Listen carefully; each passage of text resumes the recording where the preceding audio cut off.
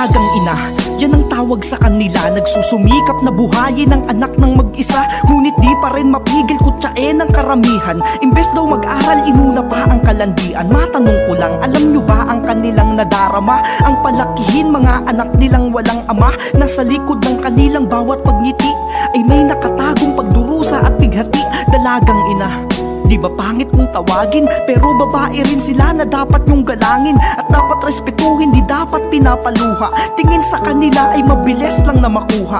Dahil ba sila ay meron ng karanasan? Di na dapat seryosuhin dahil sa nakaraan. Kung yan ang tingin mo sa kanila pare mali ka. Nagmahal lang sila di ibig sabihin nun malandi na Isa kang dakilang ina. Yan ang lagi mong iisipin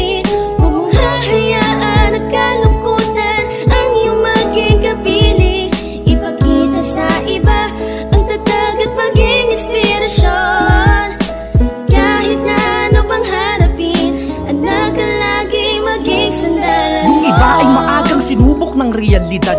Naging batang inang wala pa sa wastong edad. Nagtiwalang ibigay ang sarili sa kasintahan. Subalit nung may nabuo agarang iniwanan Anong mali nila? Sila lamang ay umibig. Kung meron mang mali yan ang mali niyong pag-iisip sa halip Huwag yung husgahan bagko sila'y hangaan. Kahit hirap na hirap pinipilit ang lumaban. Imbes na sumuko lalong naging matatag. Tanging lakas nila ay ang bawat ngiti ng kanilang anak. Sinisikap maging nanay at tatay. Mabigyan lang ng magandang buhay Lahat ialay Kaya sana? Sila ay mahalin yung totoo. Alam nyo ba? Kaya marami ang pamilyang di buo. Di man karamihan ngunit karaniwang nangyayari. Kadalasan kasalanan din nating mga lalaki. Isa kang dakilang